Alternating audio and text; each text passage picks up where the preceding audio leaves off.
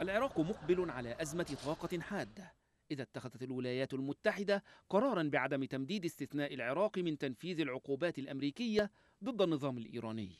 في ظل الأزمة السياسية الحالية في العراق وفي ظل عجز حكومة تصريف الأعمال عن اتخاذ أي قرارات حاسمة وفي ظل التصعيد بين واشنطن وطهران على الأرض العراقية والتغيرات الجيوسياسية مع توسع سلطة الأحزاب الموالية لإيران بات العراق يواجه تحديات تتعلق بتأمين إمدادات الطاقة لا سيما الغاز والكهرباء.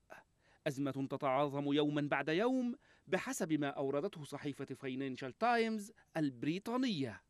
الصحيفة تؤكد أن واشنطن حتى إن مددت استثناء بغداد من تنفيذ العقوبات ضد طهران فإن هذا التمديد سيكون مشروطا ومشددا ولن يسمح بتحويل العراق إلى بوابة لوجستية لتداول العملة الأجنبية لإيران إذ أن العراق سيكون مطالبا بتقديم ضمانات بالتخلص التدريجي من الغاز الإيراني خلال ثلاثة أشهر بما يعادل 30% من واردات الغاز العراقية وهو أمر بالغ الصعوبة في ظل سيطرة الأحزاب الموالية لإيران على مقاليد السلطة في العراق.